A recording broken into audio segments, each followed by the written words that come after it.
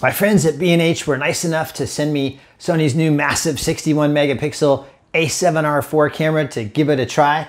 And if you're looking for like a camera review where a guy sits at a desk and takes pictures of charts and then pixel peeps, you're not gonna find that here. I actually take the stuff out into the real world. So I'm gonna take this camera out and do what I like to do, which is photographing birds. And let's see if this camera can actually handle that kind of stuff. Come on, let's go.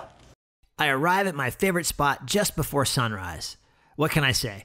I was a little excited to try Sony's 61 megapixel camera, and if this shot is any indication of the typical results, then I'm in for a real treat. By the way, this was shot in crop mode at 400 millimeters, 1 160th of a second, handheld. One benefit of having such a small, lightweight camera, but let's move on and see what we can find. As luck would have it, the weather was awful. A tropical storm just off the coast has the ocean a little on the angry side, and the light is pretty much non existent. Throw in the occasional tropical downpour, and you have some of the worst shooting conditions you could ever ask for. But that doesn't stop the birds from feeding, and I'm ready to see what they want for breakfast.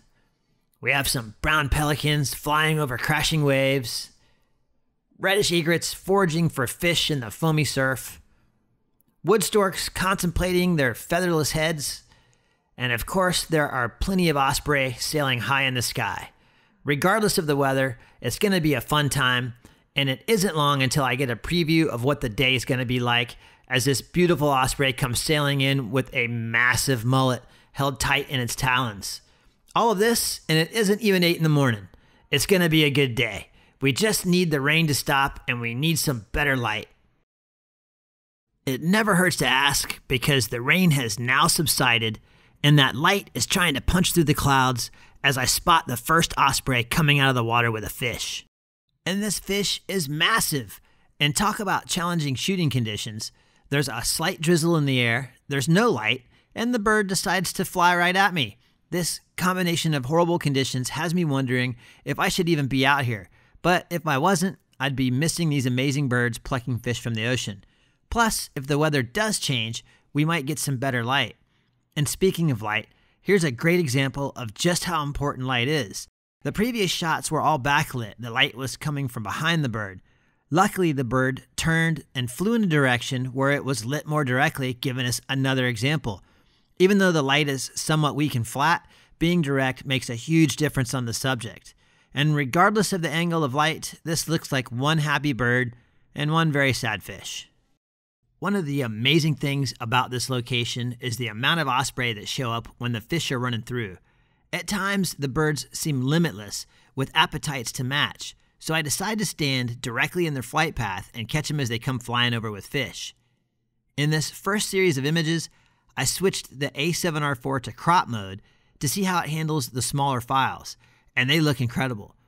But these birds are coming so close that I might clip their wings, Thankfully, I've programmed a single button to toggle between full frame and crop mode, so I'm back to full frame with just a press of a button as the next bird comes flying in with a nice catch. And right behind this bird is yet another, and this osprey makes some killer eye contact. That is one powerful stare. I think this bird wants to keep the fish to itself. I can't complain about having a nice steady stream of birds flying in with fish, but this one looks like it's carrying a piece of fried chicken in its talons. Let's have a closer look at that. 61 megapixels will let us do that. Ah, now I can see what this is. It's a sand covered puffer fish. I didn't think that osprey liked to eat fried chicken. Finally, the clouds have cleared. Let's head down to the beach and see what we can capture in some good light. Sometimes you just have to stop and appreciate the smaller things. In this instance, a ruddy turnstone.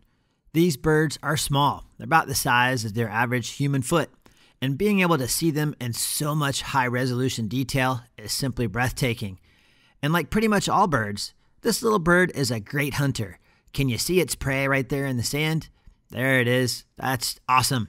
I back out of this tiny world for a second as a shadow falls over the beach, and up in the sky is a beautiful osprey. It gives me a nice, approving glance as it heads out to sea in search of food. I'll get back to that bird in just a minute. First, let's check out the detail this camera is capable of on a beautiful white morph reddish egret. For all those photographers out there who say we don't need more megapixels, I highly disagree. I've never had the pleasure of being able to see this much detail on one of my favorite birds. You can actually see tiny pieces of shell on this bird's beak and each individual strand of feather. And who could pass up that eye? You can almost see into this bird's soul. Yeah, this camera is pretty amazing. Let's give it another try on some flying osprey in good light. Ah, this is a great sign. Lots of birds, clearing skies, and here comes an osprey back from its trip offshore. Nice catch for this bird, a big hardy mullet. And right behind that osprey comes another with yet another amazing fish. It's pretty obvious to see why these birds like to congregate here. They have plenty of food. Now that we've seen what the A7R4 can do in terms of detail, let's put its autofocus to the test by shooting a nice long series of one bird flying quickly through the sky.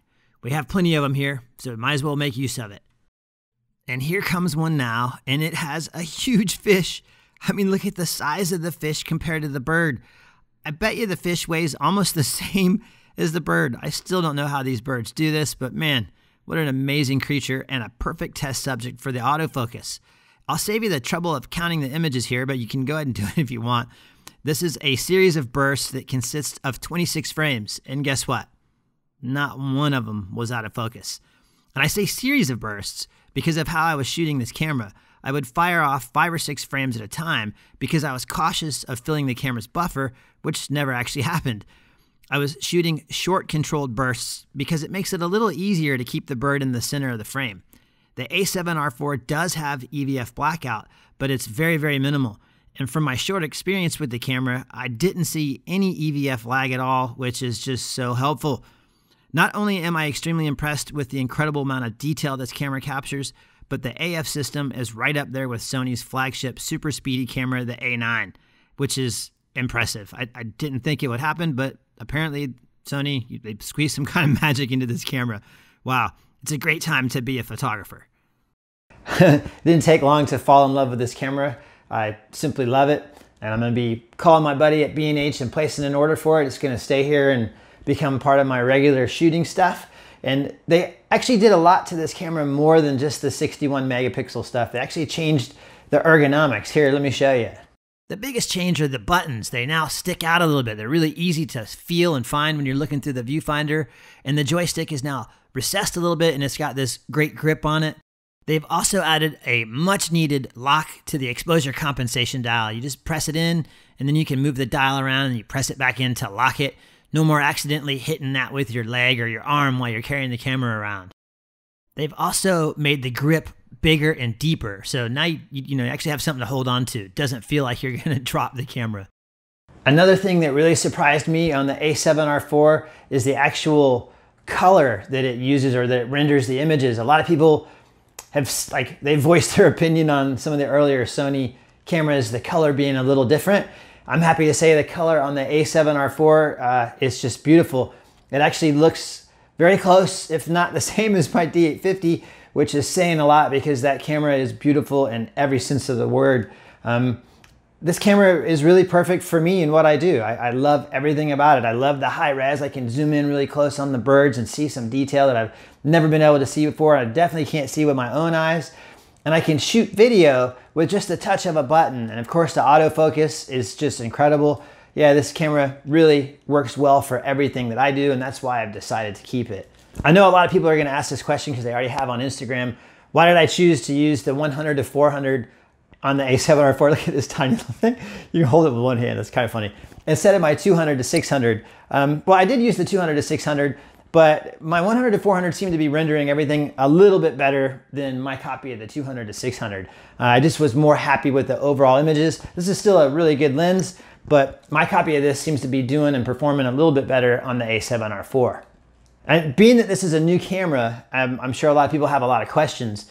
Go ahead and leave the questions in the comments below. I'll do my best to answer them. Might even make a good choice for a video if you just pile me up with questions and then I can actually make kind of a frequently asked questions on this camera, at least with my limited experience, um, and maybe make a video to educate everybody on that stuff. Um, as always, I got more videos coming up that probably show up over here. Um, let me know what you thought overall in the comments below too. Don't forget to click the like button and subscribe if you haven't done that. And check out my other videos. Some people have told me they're kind of entertaining, so you might want to do that. And until next time, I'll see you later.